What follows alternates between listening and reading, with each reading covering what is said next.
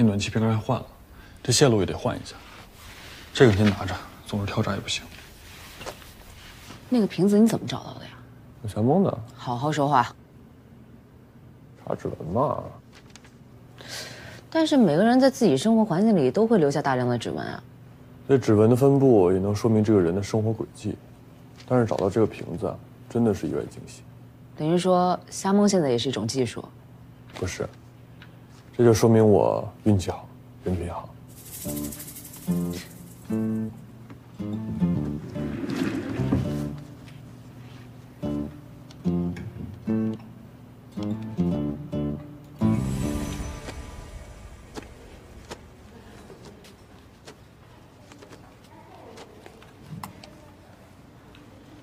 别焦虑啊，焦虑没有用。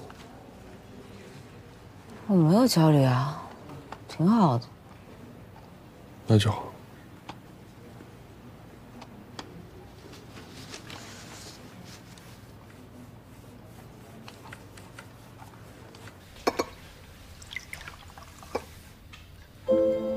爸，秦叔叔是你最好的朋友，也是从小看着我长大的人。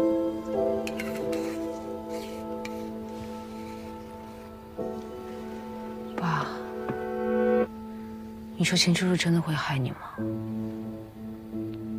我都不敢想。怎么怎么停电了呀？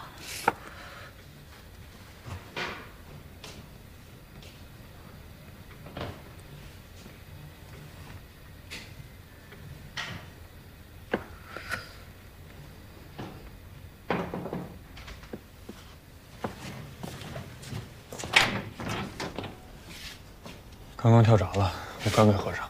你在房间里搞什么发明，弄得超负荷？我没有，我那屋暖气不好使，我开了会儿空调，可能是线路老化了吧。这样，你跟你姑啊说一下，那暖气片该换了，这线路也得换一下。这个先拿着，总是跳闸也不行。走了。等一下，我有个问题想问你。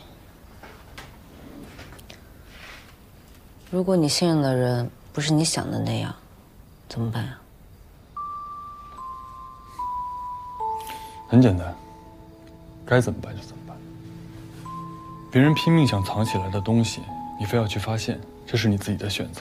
所以对于结果要认。可这是我的工作，不是我非要发现，是我没有选择。对，也要认，因为你的职业就是你的选择。你知道你这个人最大的毛病是什么吗？就是太容易感情用事，不冷静也不客观。你知道你这个人最大的毛病是什么吗？没感情。本来是想跟你唠会嗑的，整的还教育人了。